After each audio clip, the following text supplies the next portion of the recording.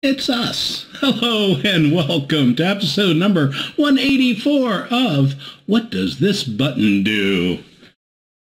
It's an educational show about smartphones and technology with us geeks on tour. Today's beginner's lesson is what is Google Lens and how do I use it? But first, we have a quick start tip. What do you have there, Chris? Well, this is a tip on Google Lens. We're going to have lots more, but I was just wanted to start off right away. You can use Google Lens to identify a product in a photo and even find a link to buy it. So for example, if you take a photo, which I did, of this blue snowball microphone, you open it up in Google Photos. That's a key. And there is this third button over is the lens button.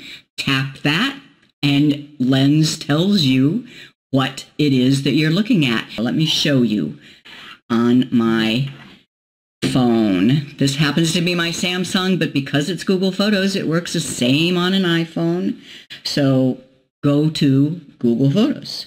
Find a picture of a product or take a picture of a product. So here is that snowball microphone and there is the lens button. Just tap it and you'll see all these dots. It's analyzing the photo and it sees it sees that it is a blue snowball USB microphone. Now these images don't have any links to them, so I'll scroll down and see if I find any more. And I can buy it from Best Buy or Amazon or eBay.